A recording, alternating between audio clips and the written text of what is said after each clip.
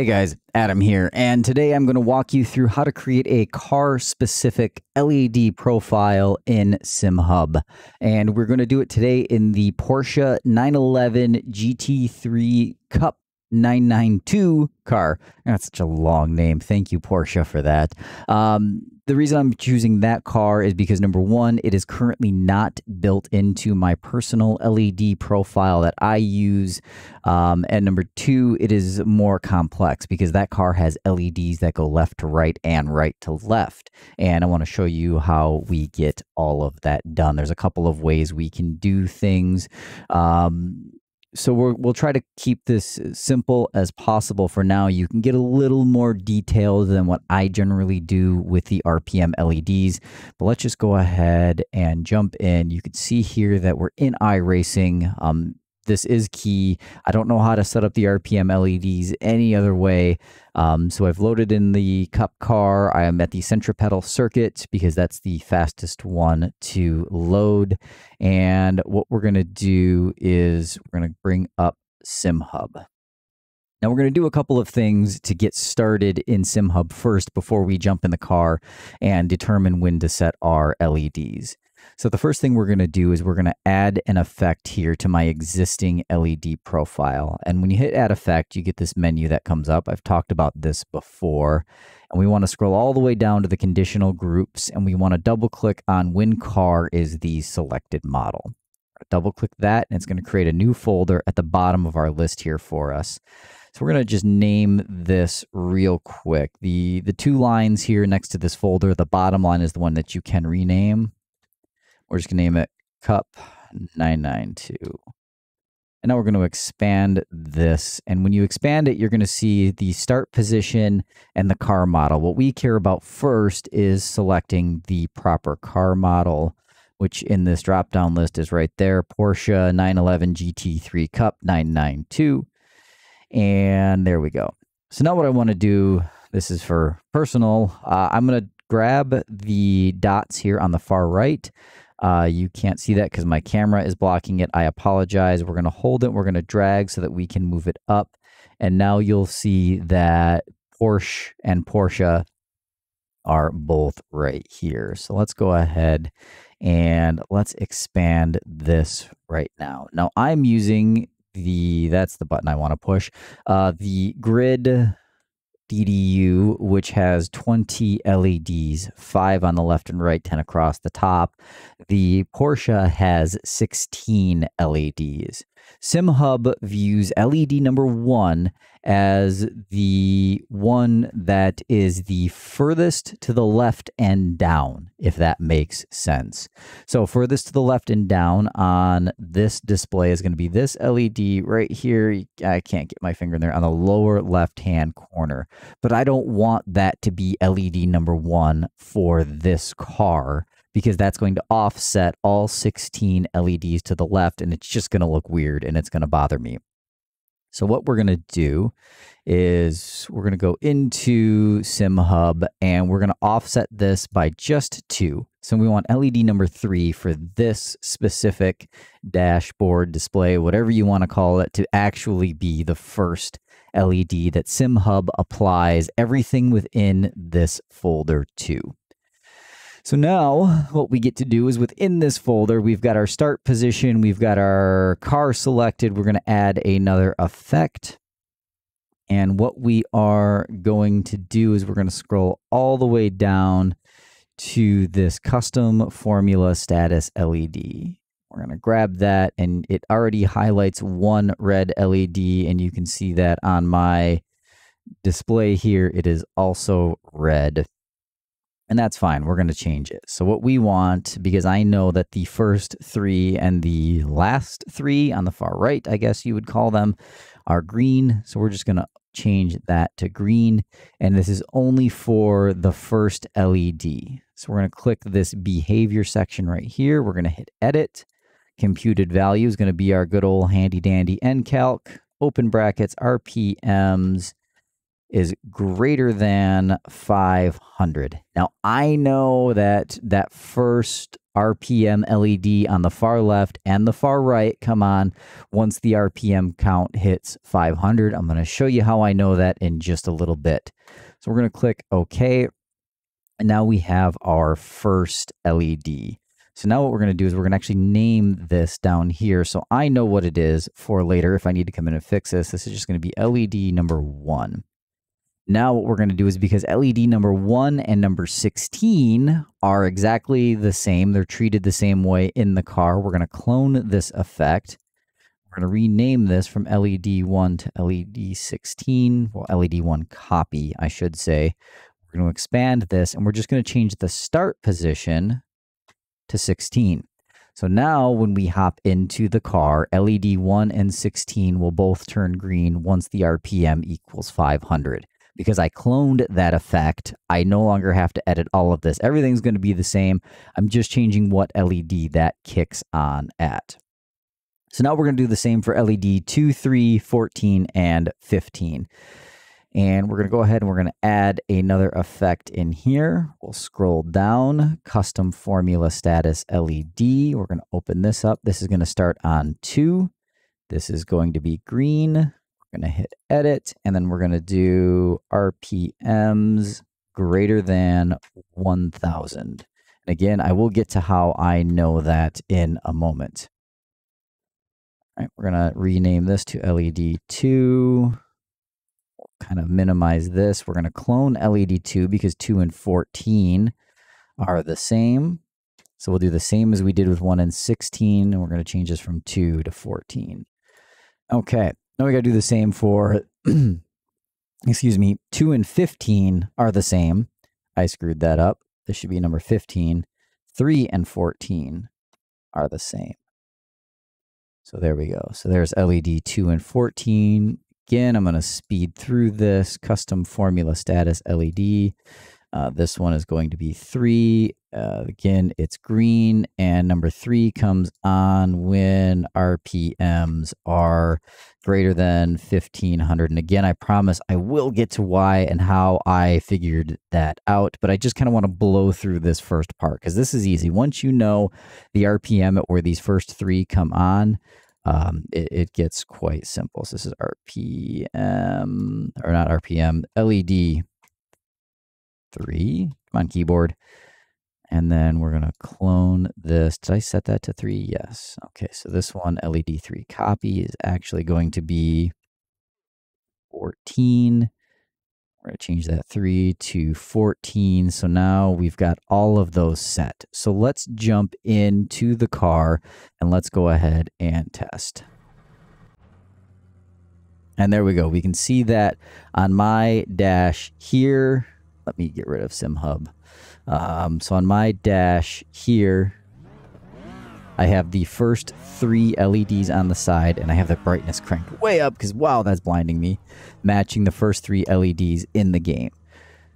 And now, if we were to just slowly release the clutch and kill the RPM, you can see that, hopefully you can see that on my dash and the RPMs in the car in the game are matching.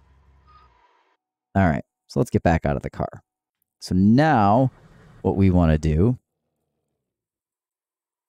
is we want to go in to SimHub. Bring this back up. Oh, come on. There it is. And we want to add LED number four. That's right. Number four, that's the one I wanted. Okay, so again, custom formula status LED. And this one we're going to name LED. Oh, that didn't work. Okay, Adam, your engine temperatures are okay. All clear on engine temperatures. Oh, thank you, Jim. Four. LED number four. And number four, I believe, is yellow. Now, what I need to do is I need to set the RPM. So what we're going to do, this is how I do it. You, you can do this a couple of different ways. I have, uh, you know, my dashboard up here as well um, with an RPM indicator on it. Um, but if you don't have a display with an RPM indicator on it, I'm going to show you this as well. So we're going to click Edit, Computed Value. And when we type in RPMs, you're going to see down here in this raw result section Our result is the RPM value that SimHub is currently getting from the game. So if we were to jump into the car, and I'll switch over to race two here so that you can see that we're in the car. All right, let's go back. So now if you if you can see down here in the raw result, that changes as the RPMs increase. So what I want to do is I'm going to slide SimHub off to the side so I can see as best I can at what point this comes on. It looks like I got to move this this way a little bit for me. This is a bit tedious. I do apologize, but all right, so it looks like it comes on at 3000 RPM. So I'm going to say close enough. So when RPMs greater than 3000. All right, there we go. We're going to click OK. And now what I want to do is I want to copy this for also LED number 13. So clone effect, instead of LED 4, we're going to make it LED 13. We'll expand this window and we're going to have it come on at 13. So there we go. So let's jump into the car and let's test this out. Let's see, are we matching? Oh, here, let me move SimHub. I think that looks pretty darn close. Okay, so now what we have to do is we have to do this for every other LED in game, and it does get very tedious and very time consuming. I am not going to have you sit through all of that. What I will do is I will post a link to this specific LED profile in the description below, um, but this is for a 20 LED setup. Uh, so if you've got 16, like your GSI wheel or something different altogether, you're going to have to make some tweaks if you want to use this LED profile. But I am going to show you another way real quick that you can make this work, albeit not quite as accurate as in game. So what we can do is go back into SimHub and I am going to take all of this and we're just going to start a new LED profile. We're going to go with iRacing, new profile. Scroll down the list. I passed it, iRacing, and then we're going to click. Oh, we're going to name this too Porsche Cup. This is specifically a P Cup profile, specifically for this car. So we're going to hit OK. So we got a brand new blank slate profile. We're going to add the effect the same way as we did at the beginning. We're going to scroll down. Car is selected model. I'm not going to get fancy with this one because I'm never going to use this profile. But we are going to say when the Porsche 911 GT3, we're going to start it on RPM 2. And then what we are going to do we're going to add another effect and we're going to show a LED solid color segment or gradient based on RPMs. I'm going to do gradient. We're going to do this as not 1 to 16. Oops. We're going to do this as 1 to 8. And we're going to do 1 to 8. Minimum RPM is going to be 500 maximum RPM is going to be, I don't know what max RPM is. Looks like we're going to say 8,700. And then red line blinking, we want to have the LEDs blink. And start color and end color is going to be blue and red. But let's make it green and red. There we go. Okay, so RPM. Oh, I had minimum RPM percent. I didn't want percent. I wanted 100. Um, I'm going to make this 500 and this 8700. Apologize, quick and dirty. And now we can see that it's not a perfect match. I mean, it's green, yellow, red. It's close, but we're, we're almost there.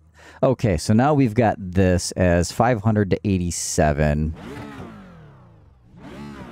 And it's close. It's not cool, but it's close. What we're going to do is we're going to clone this effect and we're going to do 500 to 87 again, but instead of 1 to 8, we are going to do this start position as 16, and we are going to check right to left, this box right down here in the corner. Ooh. And that kind of comes off a little funky.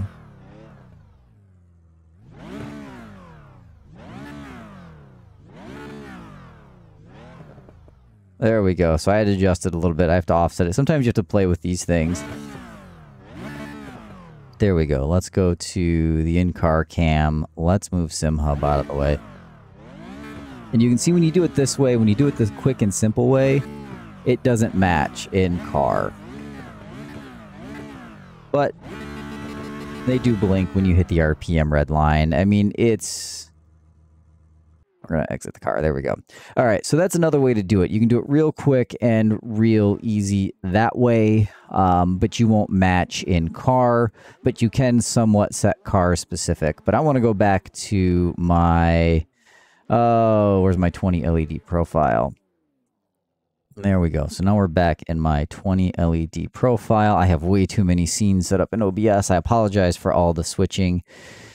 And we're going to follow the rest of these steps for all of the other LEDs.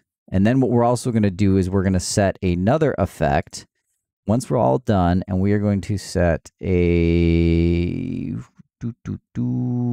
custom formula status LED. We're going to call this one our red line. Come on. Now, red line is going to start on RP or LED number one, and it's going to go for all 16 LEDs. And because in the Porsche it is blue, move this so I can see what I'm doing here. We're going to make it blue. We're going to set our computed values. Red line reached is all we're going to do. We're going to hit OK. Jump back into the car fact, let's do this one. There we go. So now you can see my...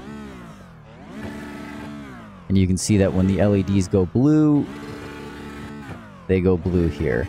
Now my LEDs are solid, so let's go back in and show you how to make them blink. Okay, so now we're back in here. All you gotta do is check this blinky box. That's it. Simple delay or on-off delay. I don't like the on-off delay. I like the simple delay, and you can set the delay value so right now it's 500. Let's make it blink a little faster. Let's make let's set the delay to 200 milliseconds. There we go. Good enough. Okay, so that's it. This was a quick and simple video. I hope I explained things well enough. It is a tedious process to set car-specific LEDs. Um, I apologize because I did kind of ramble a little bit here and there throughout this video, but if you find that this did help, uh, please give the video a thumbs up. Post a little comment down below to help the, uh, the YouTube algorithm. And let me know if I didn't explain anything clear enough. Just post a question down below and I try to stay on top of those as best I can. Occasionally, I do miss a question or two, and it might take me a day or two even to get back to you, but be patient. Um, life is very busy right now, and I'm trying to get these videos out to help you guys as quickly as I can. But that's all I've got for today. Thanks for hanging out with me, and we will talk to you next time.